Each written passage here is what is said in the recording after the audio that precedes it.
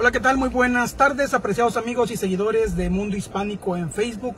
Un saludo muy cordial de su reportero y su amigo Mario Guevara. Espero que estén muy bien, que tengan una feliz, feliz fin de semana también, ¿verdad? Para los que ya están esperando el fin de semana largo, porque ya viene el fin de semana largo.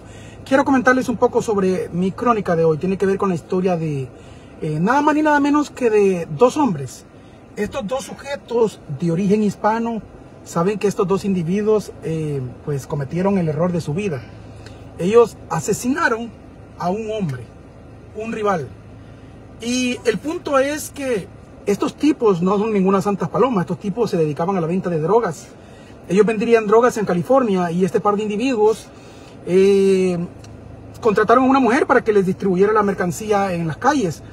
Pues esta mujer se quiso pasar de lista con ellos, empezó a tomarle dinero, empezó a tomarle efectivo, pero también drogas.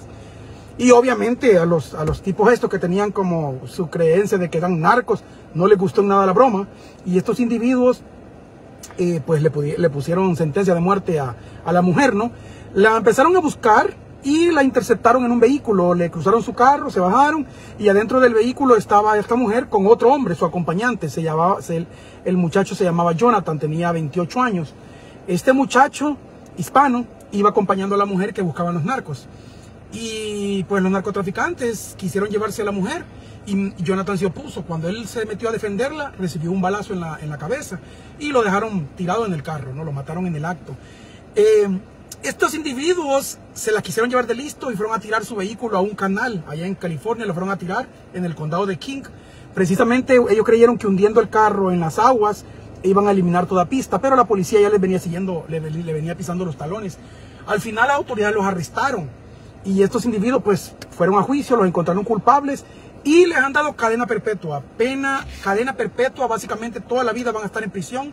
Eh, uno de ellos tiene 32 años, el otro 41, así es que les espera una larga, pero larga jornada en la cárcel, una fría celda donde no van a poder respirar aire fresco, no van a poder ver la luz del sol, pero bien merecido que se lo tienen, ¿no? Hubiera sido en estados como Georgia le hubieran dado incluso la pena capital. Pero bueno, así es mi gente, cuídense mucho. Su amigo, su reportero Mario Guevara, recuerda, lo ve primero aquí, compartan este video. Hasta la próxima.